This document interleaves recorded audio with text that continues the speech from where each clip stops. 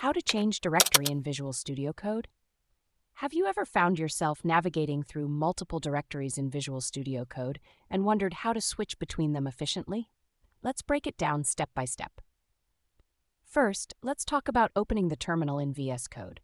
You can do this by pressing the shortcut Ctrl-Shift-Dash or by clicking on the Terminal option in the menu and selecting New Terminal.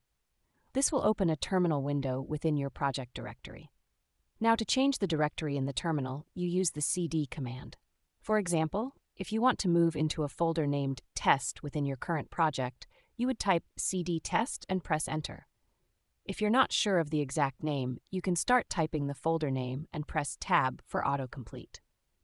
If you need to go back to the root directory of your project, you can use cd with two dots to move up one level, or cd with a tilde and a forward slash to go directly to the root. But what if you want to switch to a completely different project or directory that's outside your current project? You can do this by navigating to the desired directory in your File Explorer, copying the full path, and then pasting it into the terminal with the cd command. For instance, if you want to change to a directory named Python Practice, you would type cd slash full path slash to Python Practice and press enter. Another useful tip is to use the Explorer in VS Code to help you navigate. You can open the hmm. Explorer by clicking on the folder icon in the sidebar or using the shortcut Ctrl-Shift-E.